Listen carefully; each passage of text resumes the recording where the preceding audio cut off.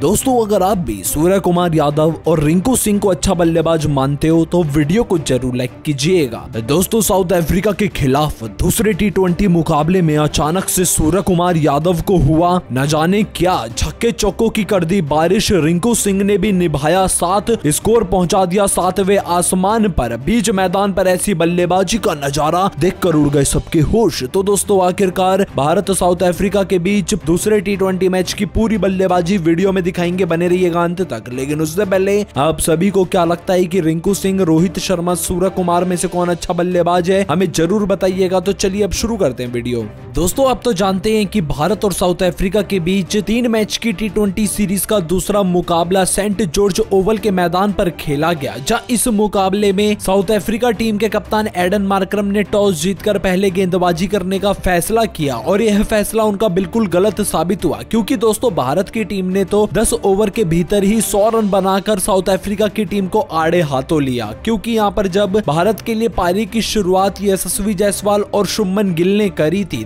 दोनों बल्लेबाज अच्छा प्रदर्शन कर नहीं पाए। इस दौरान यशस्वी जायसवाल, मार्को यानसन के अंदर आती हुई गेंद पर डेविड मिलर को कैच थमा बैठे और शून्य रन पर ही उनका विकेट गिरा और वहीं शुभमन गिल भी शून्य रन पर ही आउट होकर लिजार्ड विलियम्स की गेंद पर एलबीडब्ल्यू बोल्ड आउट हुए। अब दोस्तों, दो बड़े झटके, छह रन के कुल स्कोर पर लग जाने के बाद तिलक वर्मा और सूर्य कुमार यादव ने पारी को संभाला। जहाँ इस दौरान तिलक वर्मा जो कि अच्छी बल्लेबाजी कर रहे थे, वो उनतीस रन बनाकर ही चलते बने। तो वहीं सूर्य कुमार यादव ने यहाँ कप्तानी पारी खेली। इस दौरान उन्होंने रिंकू सिंह के साथ मिलकर अर्धशतकीय साझेदारी को अंजाम दिया। एक समय तो ऐसा लग रहा था कि सूर्य कुमार यादव का विकेट गिरने ही वाला है और वो अपना अर्धशतक भी इस दौरान पूरा नहीं कर पाएँगे। लेकिन दोस्तों, वो आज मैदान पर पूरी तैयारियों के साथ उतरे थे। सबसे पहले तो सूर्य कुमार यादव ने छक्के चौकों की बारिश करना शुरू किया और 31 गेंदों पर 50 रन जड़कर सबको बता दिया कि वो अभी भी टी के किंग कहलाए जाते हैं। तो वहीं इस दौरान सूर्य कुमार यादव ने पाँच चौके और तीन छक्कों की बदौलत 50 रन पूरे कर लेने के बाद अपने शतक की ओर आगे बढ़े। और यहाँ पर सूर्य कुमार यादव के शतक का इंतज़ार खबर बोले जाने तक पूरा भारत देश कर रहा है बेसब्री से। वहीं दूसरी तरफ़ रिंकू सिंह ने यहाँ ताबड़तोड़ बल्लेबाजी करते हुए मुश्किल स्थिति से भारतीय टीम को निकाला और जहाँ एक तरफ़ एक के बाद एक विकेट गिरते चले जा रहे थे और भारत ने तीन विकेट मात्र पचपन रन के कुल